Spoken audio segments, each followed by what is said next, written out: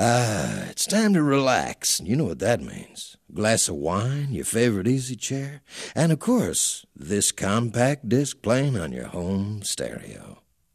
So go on and indulge yourself. That's right. Kick off your shoes, put your feet up, lean back, and just enjoy the melodies. After all, music soothes even the savage beast. ¡Vamos!